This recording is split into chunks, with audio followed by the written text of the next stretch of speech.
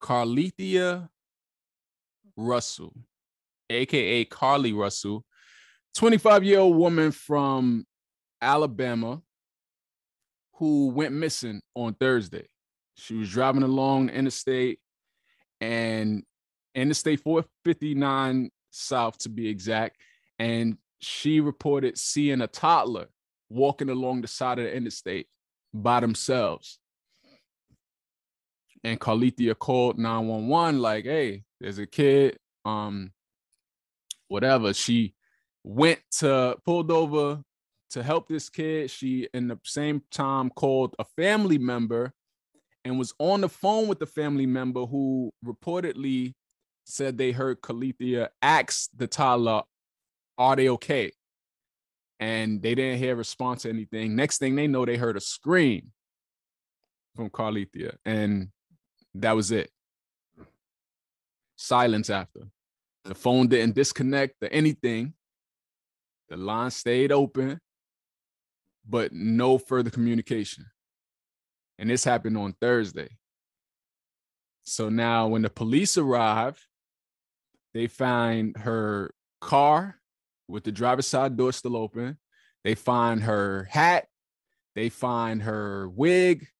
They find her cell phone and some other belongings, all still there on the side of the road, but no sign of Carlee.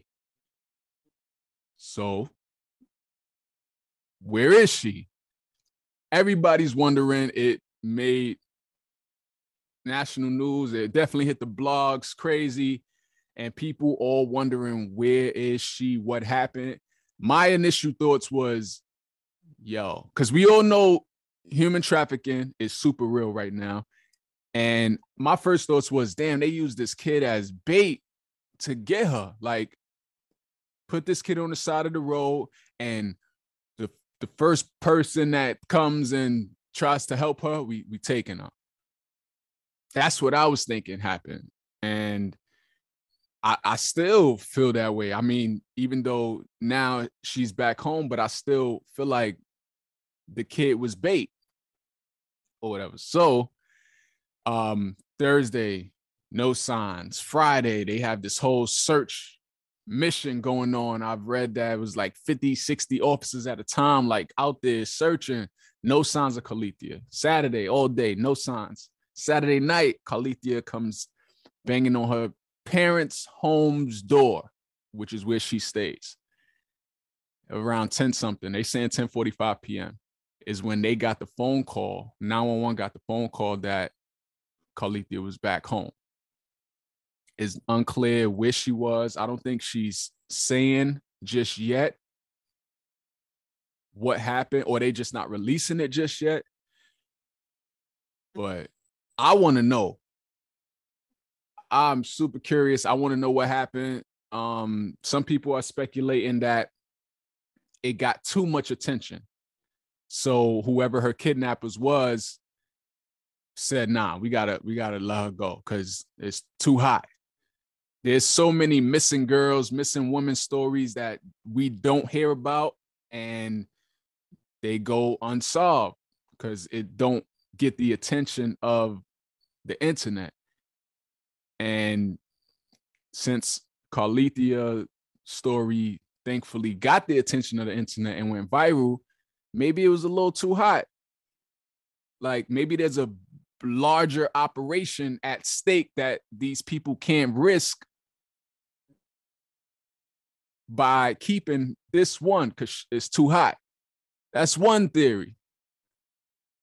Um, I don't know. I don't know what else. Like, because some people was even speculating that she made it all up and she was hiding, which is super dumb in my opinion. But because it's like where where she was hiding at, unless there was somebody else involved, like they the police got there and found her car, her phone, all of this. Like where where would she be?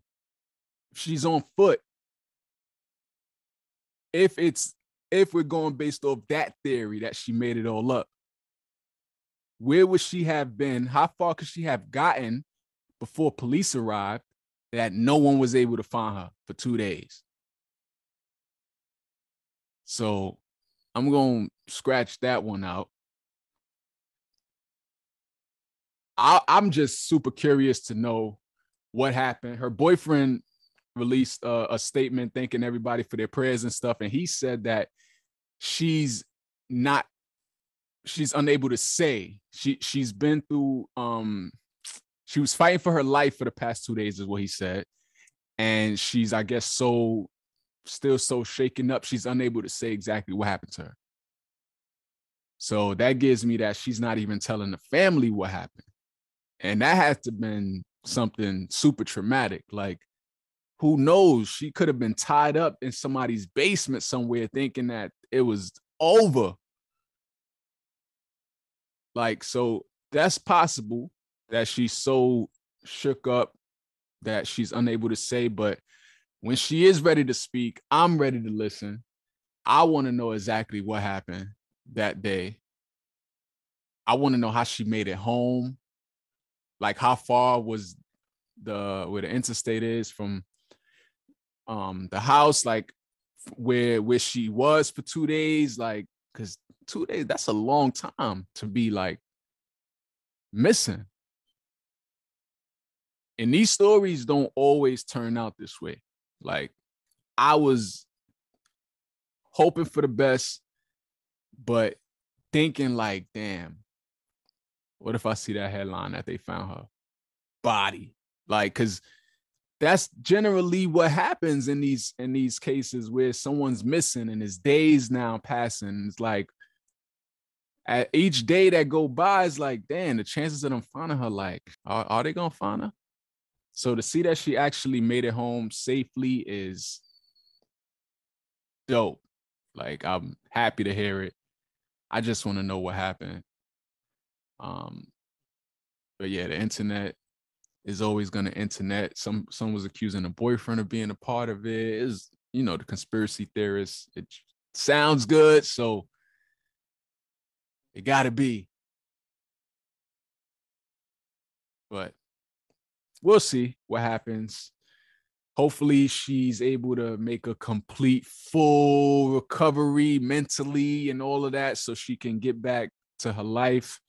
Maybe she'll give an interview to Robin Roberts or somebody or Oprah or somebody about the ordeal, or I don't know. Just go live on Instagram at the very least. Let me know. I want to know what happened. And and maybe your story could help other women of what not to do. I know for me, last thing I'm gonna say on this is it definitely makes you leery about being like a good Samaritan. And and when you hear situations like this. Assuming is everything that she said it was, it makes you leery because you never know what people's intentions are.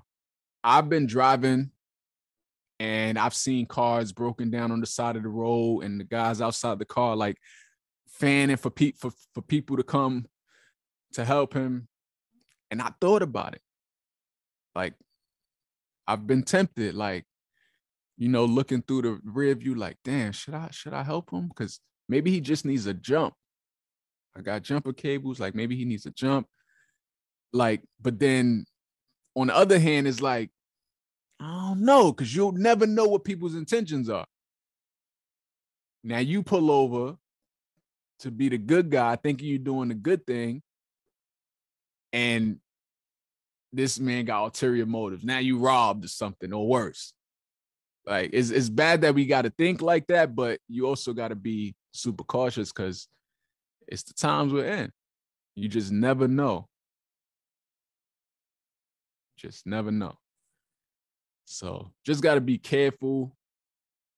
Um, call for help from a distance or something. like, just I don't know, kind of gauge the situation. Like, if it's in some like secluded area where no other people are around, I don't know. You might want to use extra precaution when when it comes to uh, doing a good thing.